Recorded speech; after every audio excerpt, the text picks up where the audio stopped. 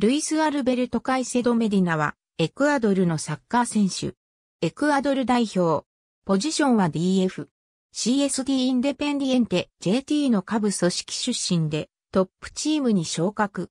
コパリベルタドーレス2016準優勝にも貢献した。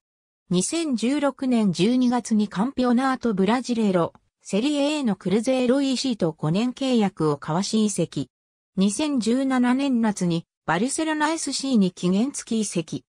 2016年10月6日の 2018FIFA ワールドカップ南米予選のチリ代表戦で代表初出場。2016年10月16日にクラブでの一戦で審判を罵倒したとして出場停止となった。彼はその後審判側が彼のアフリカ系の出自に対して人種差別発言が行われたのがそもそもの原因であると主張し、不服を申し立てた。ちなみに彼はこの年にはこの他にイエローカード2枚を提示されて2回退場している。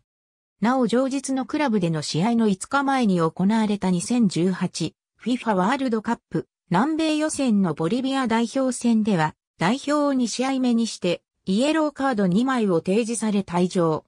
2017年3月28日にも退場処分となっている。ありがとうございます。